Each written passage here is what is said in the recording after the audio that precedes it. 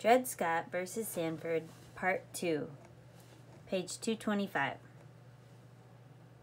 The state of public opinion had undergone no change when the Constitution was adopted, as is equally evident from its provisions and language.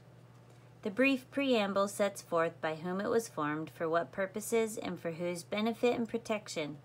It declares that it is formed by the people of the United States, that is to say, by those who are members of the different political communities in the several states, and its great object is declared to be to secure the blessings of liberty to themselves and their posterity.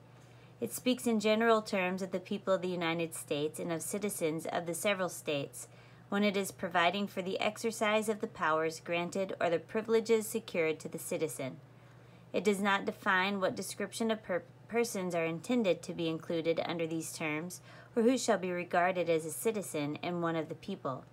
It uses them as terms so well understood that no further description or definition was necessary.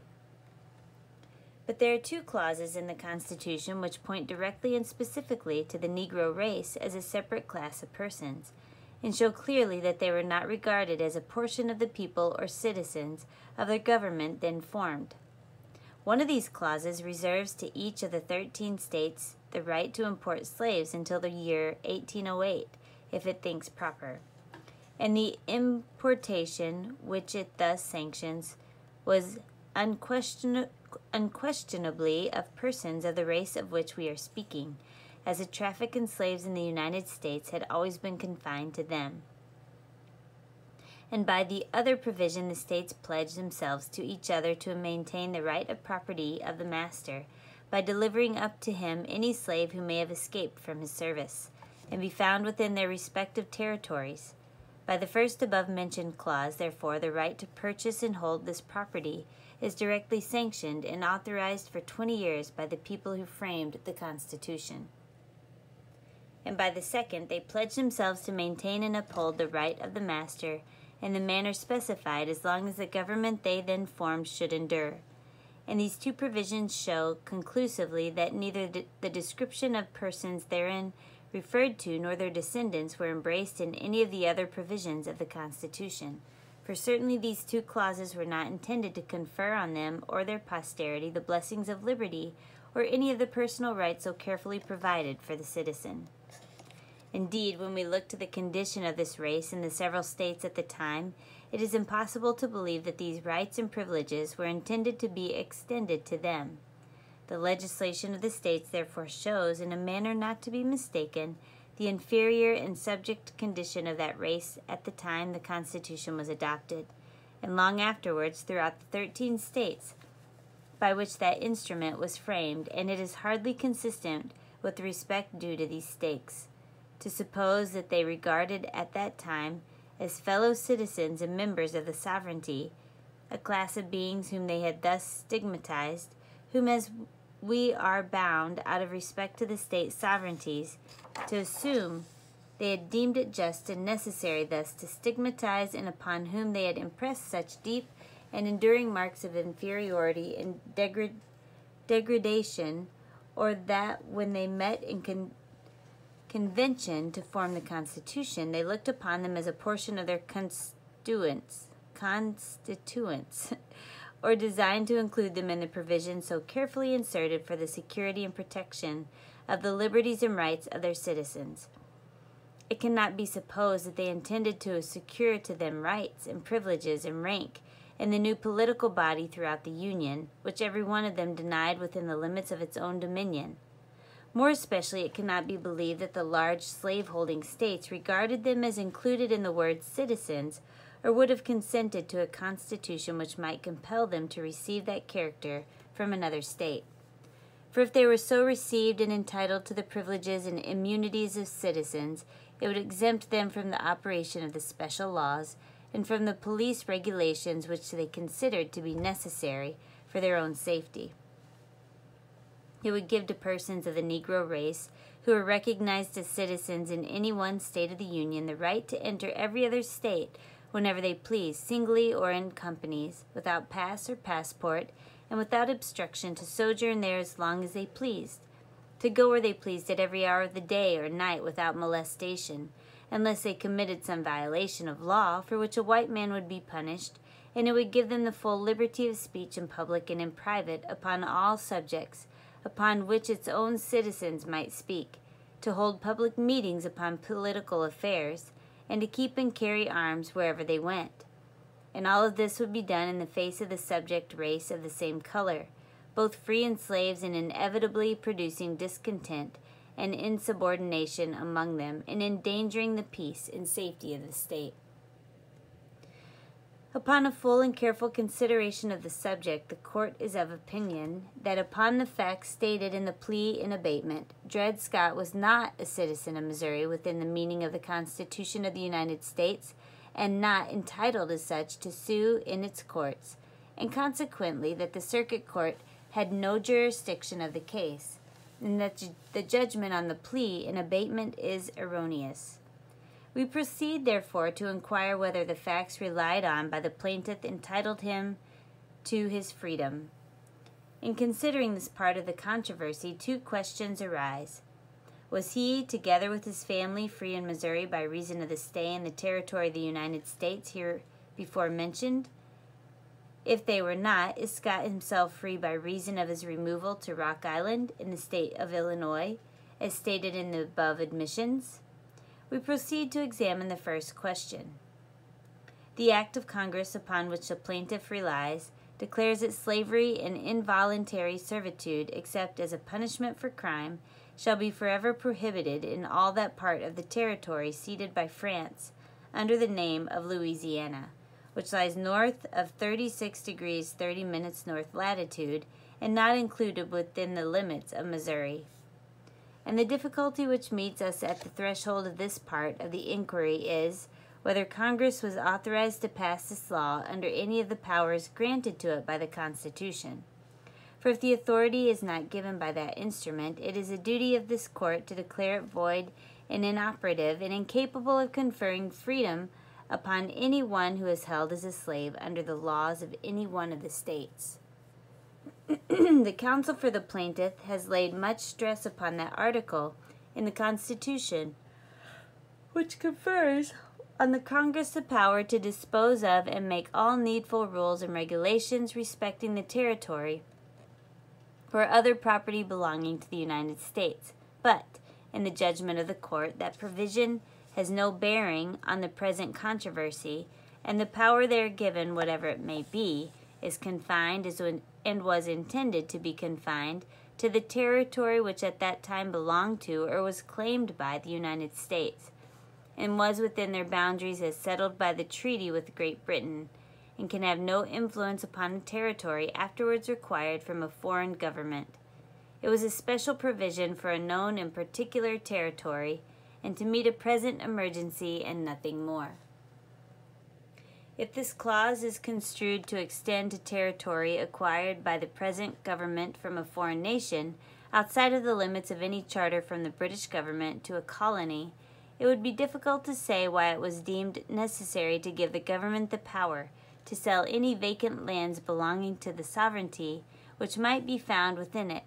and if this was necessary, why the grant of this power should precede the power to legislate over it and establish a government there, and still more difficult to say why it was deemed necessary so specially and particularly to grant the power to make the needful rules and regulations in relation to any personal or movable property it might acquire there. For the words other property necessarily, by every known rule of interpretation, must mean property of a different description from territory or land and the difficulty would perhaps be insurmountable in endeavoring to account for the last member of the sentence, which provides that nothing in this Constitution shall be so construed as to prejudice any claims on the United States or any particular state, or to say how many particular state could have claims in it or a territory ceded by a foreign government, or to account for associating this provision with the preceding provisions of the clause with which it would appear to have no connection. But the power of Congress over the person or property of a citizen can never be a mere discretionary power under a constitution and form of government. The powers of the government and the rights and privileges of the citizen are re- regulated and plainly defined by the Constitution itself. And when the territory becomes a part of the United States, the federal government enters into possession and the character impressed upon it by those who created it. It, it enters upon it with its powers over the citizen strictly defined and limited by the Constitution, from which it derives its own existence, and by virtue of which alone it continues to exist and act as a government and sovereignty. It has no power of any kind beyond, and it cannot, when it enters a territory of the United States, put off its character and assume discretionary or despotic powers which the Constitution has denied to it. It cannot create for itself a new charter separated from the citizens of the United States and the duties it owes them under the provisions of the Constitution. The territory being a part of the United States, the government and the citizen both enter it under the authority of the Constitution, with their respective rights defined and marked out and the federal government can exercise no power over his person or property beyond that beyond what that instrument confers nor lawfully deny any right which it has reserved.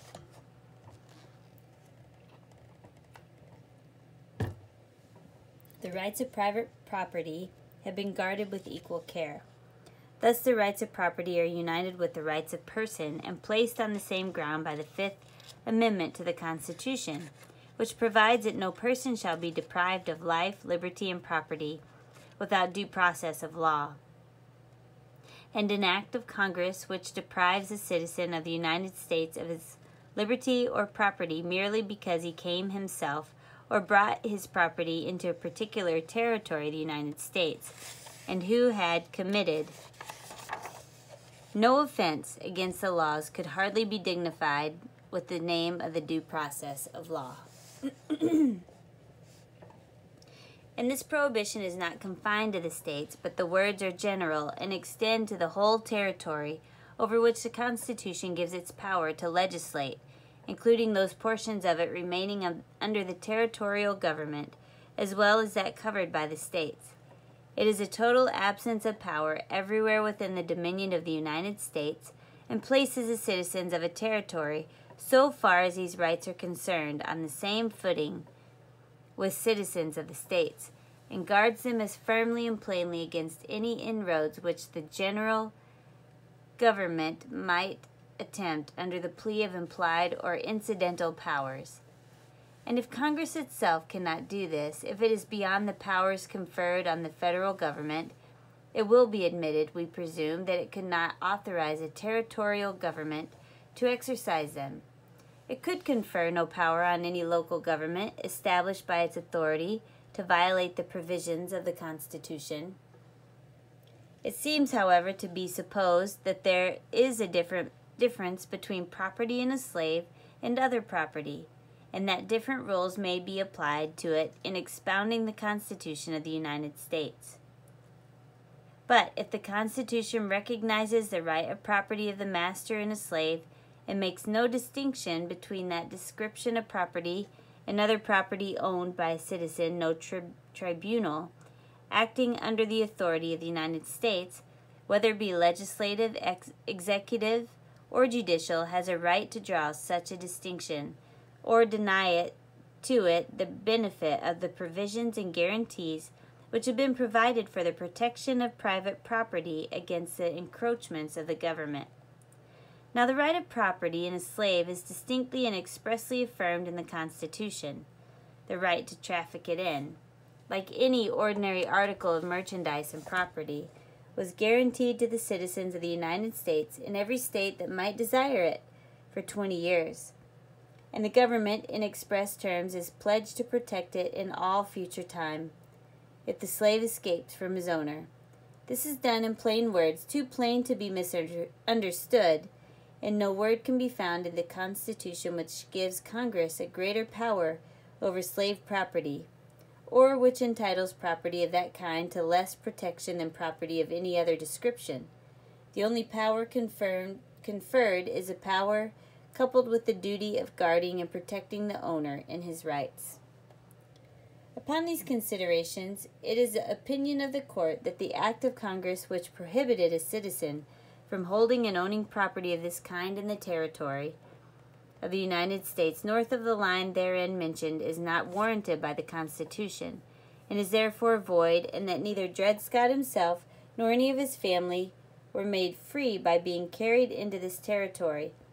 even if they had been carried there by the owner with the intention of becoming a permanent residence.